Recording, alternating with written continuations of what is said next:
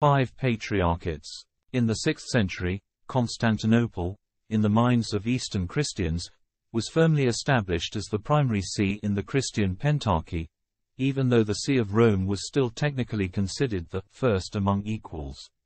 Emperor Justinian called the Pentarchy, the great original patriarchates of Constantinople, Rome, Alexandria, Antioch, and Jerusalem, the five senses of the universe.